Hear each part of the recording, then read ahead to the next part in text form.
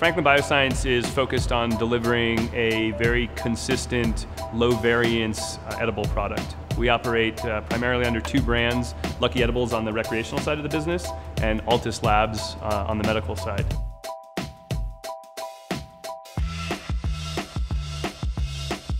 We had been operating under kind of traditional HPS bulbs um, and, and, you know, are having good success. So in an effort to uh, identify how we could maximize that square footage and the yield out of a, a relatively small facility, we, we, started to explore vertical farming and, and thereby LED technology. So we actually launched a research effort here in the garden in Denver to basically evaluate several different vendors in the LED space, Fluence and, and two others. And we ran across multiple harvests um, a controlled study with these lights side by side, and Fluence outperformed uh, the other two pretty significantly. We've since upgraded that R&D room to a full Fluence flower room here in our Denver facility, and that was what prompted us and, and made the decision for us to go all LED and all Fluence in our Las Vegas facility. My name is David Taib.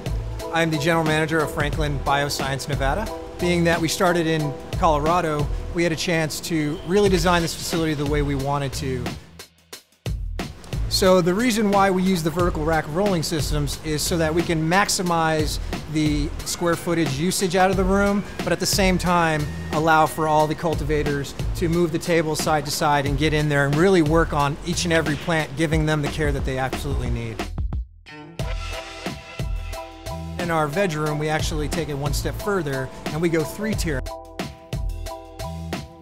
It gets up to 117 degrees regularly here.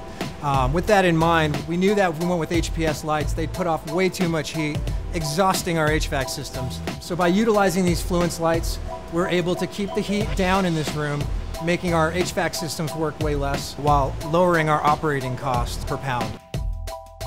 When we met with Fluence, we knew that we weren't in this just to purchase lights.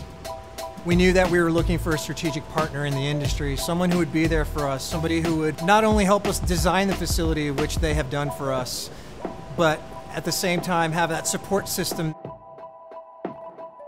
so there's been uh, there's been a lot of benefits, uh, honestly. Uh, you know, from the increased output per square foot, just generally speaking, being able to maximize that space and going vertical. There's been a, a lot of other benefits. Um, you know, better than expected yields, frankly, from a weight perspective. Somewhat surprisingly, we've seen um, you know fantastic potency results in the plants uh, versus HPS. So the same strain that we're growing under HPS, um, we'll see higher potency levels uh, under the LED lights. So that's been a, a big win being in the edible business, um, it really comes down to milligram of active ingredient. So whether that's THC or CBD, you know, if the plant can express more of that higher potency, um, you know, that's a big, big win. And if we can drive those top line metrics up while simultaneously driving the cost associated with producing them down, that's a home run.